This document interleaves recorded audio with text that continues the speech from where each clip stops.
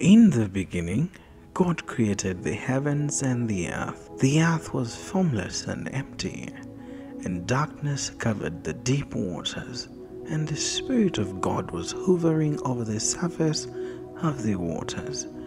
Then God said, Let there be light, and there was light.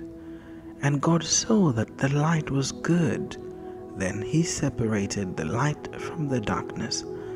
God called the light day and the darkness night. And evening passed and morning came, marking the first day. Then God said, Let there be a space between the waters to separate the waters of the heavens from the waters of the earth. And that is what happened. God made this space to separate the waters of the earth from the waters of the heavens. God called the space sky. And evening passed and morning came, marking the second day. Then God said, Let the waters beneath the sky flow together into one place, so dry ground may appear. And that is what happened. God called the dry ground land and the waters sea. And God saw that it was good. Then God said, Let the land sprout with vegetation, every sort of seed bearing plant, and trees that grow seed bearing fruit. These seeds will then produce the kinds of plants and trees from which they came. And that is what happened. The land produced vegetation all sorts of seed bearing plants and trees with seed bearing fruit. Their seeds produced plants and trees of the same kind, and God saw that it was good. And evening passed and morning came, marking the third day. Then God said, Let lights appear in the sky to separate the day from the night let them be signs to mark the seasons, days, and years. Let these lights in the sky shine down on the earth. And that is what happened. God made two great lights, the larger one to govern the day, and the smaller one to govern the night. He also made the stars. God set these lights in the sky to light the earth, to govern the day and night and to separate the light from the darkness.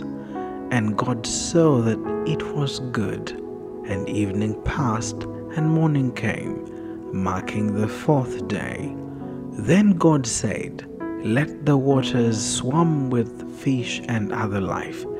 Let the skies be filled with birds of every kind. So God created great sea creatures and every living thing that scurries and swims in the water, and every sort of bird, each producing offspring of the same kind. And God saw that it was good. Then God blessed them, saying, Be fruitful and multiply. Let the fish fill the seas, and let the birds multiply on the earth. And evening passed, and morning came marking the fifth day. Then God said, Let the earth produce every sort of animal, each producing offspring of the same kind, livestock, small animals that scurry along the ground, and wild animals. And that is what happened. Livestock and small animals, each able to produce offspring of the same kind and God saw that it was good. Then God said, Let us make human beings in our image to be like us. They will reign over the fish in the sea, the birds in the sky, the livestock, all the wild animals on the earth, and the small animals that scurry along the ground. So God created human beings in His own image. In the image of God, He created them. Male and female, He created them. Then God blessed them and said, Be fruitful and multiply, fill the earth and govern it.